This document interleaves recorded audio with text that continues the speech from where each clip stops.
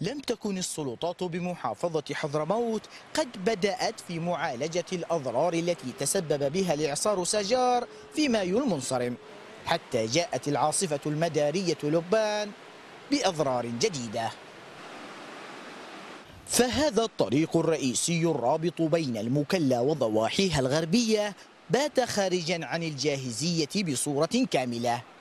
بعد أن تسببت مياه السيول في تدمير وجرف ما تبقى من أجزائه التي كانت قد نجت سابقا من تأثيرات إعصار ساجار نحن يعني نتفاجئ أنه كل مرة يحصل معنا فيضانات، كل مرة تحصل معنا أمطار آه، تتهدم البنية التحتية آه، يعني كجسور كشوارع وللأسف يعني الحلول كلها اللي تقدمها السلطة المحلية أو الحكومة عبارة عن حلول ترقيعية.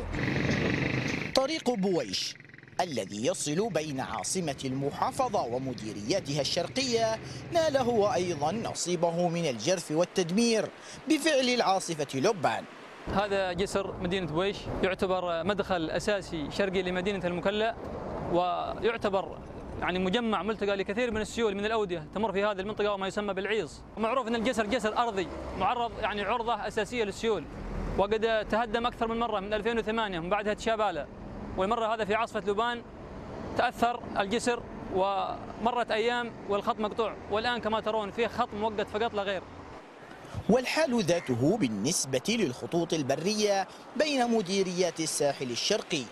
ناهيك عن الشوارع الداخلية للمدينة.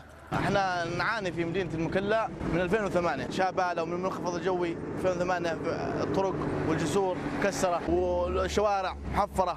يعني ماشي حلول جذريه حلول ماشي وعلى الرغم من أن لجنة حكومية قد أعلنت في مايو الماضي مناطق بالمكلا منكوبة بفعل أضرار الأمطار ومياه السيول إلا أن ذلك لم يسهم في إحداث أي معالجات لتلك الأضرار والتي كان جلها في شبكات الطرق والبنية التحتية.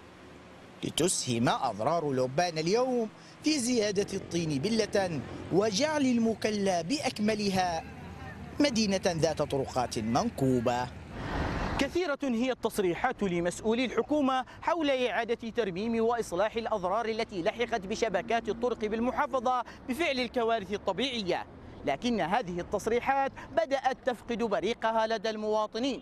وكيف لا يفعلون؟ وآثار الدمار الذي تسببت به فيضانات عام 2008 لا زالت عيانا أمامهم.